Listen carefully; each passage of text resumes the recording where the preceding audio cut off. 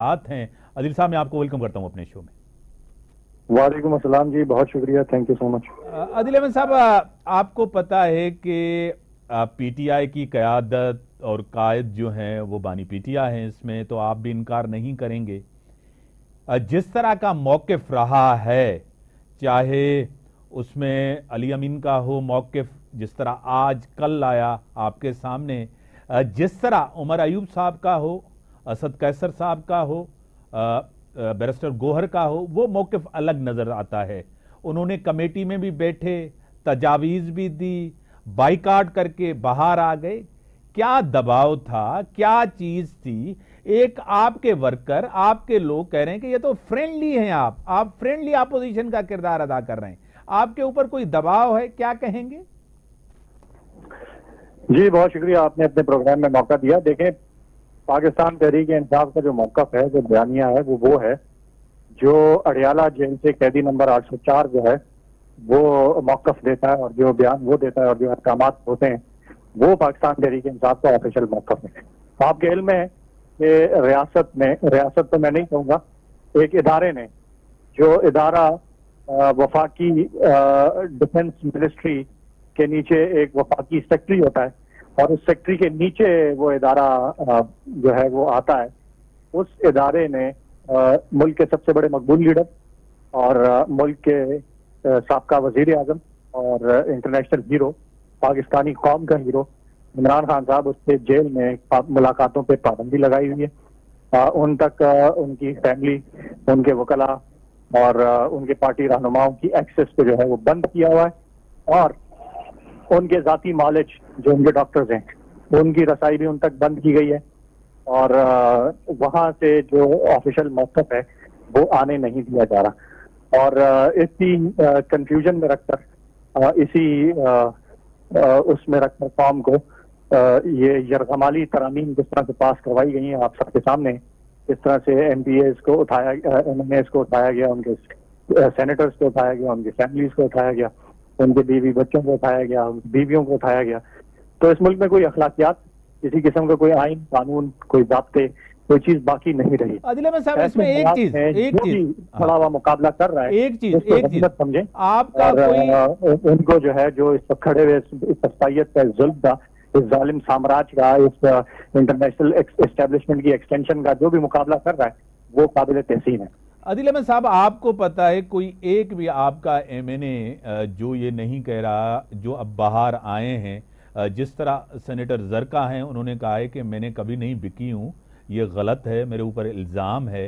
ये लोग क्लियर कर रहे हैं। कोई ऐसे बंदे जो आपके गायब हों, जो असम्बली के अंदर आए हों, आपको पता है? नहीं।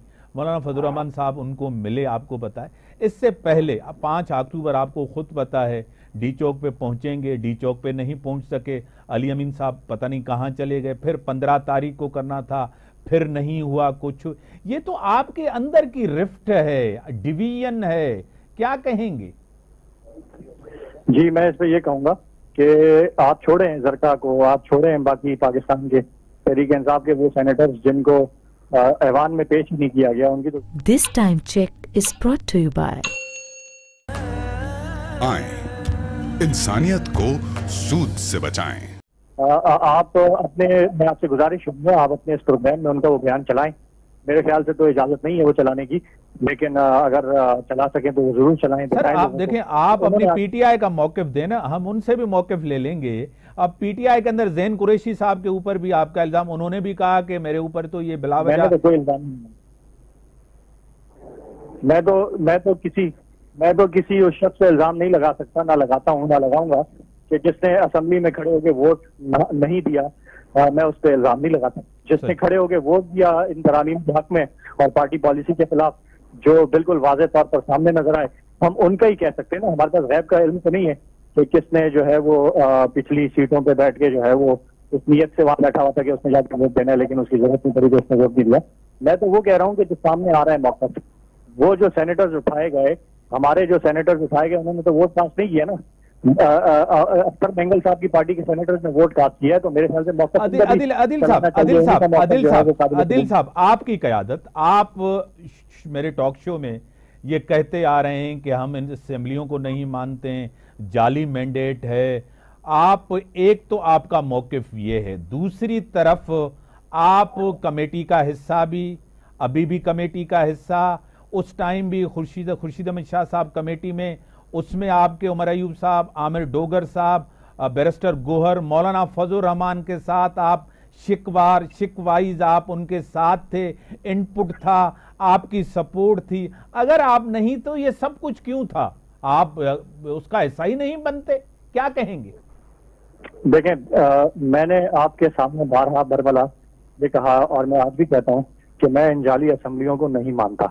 तो उसकी वजह यह है कि एन ए दो सौ बत्तीस से साठ हज़ार के वोटों से मैं जीता हुआ मेरे पास मेरे फॉर्म पैंतालीस मौजूद हैं, लेकिन रात के चार बजे एक मिलिट्री इंटेलिजेंस का मेजर देख के या कमाल बना लेता है अगर ऑफ़िस को और वो रिज़ल्ट चेंज करके किसी और को जितवा देता है तो मैं तो उस फॉर्म सैंतालीस पे असेंबली में ज़बरदस्ती घुसे हुए शख्स को जो है वो अवामी नुमाइंदा नहीं समझता।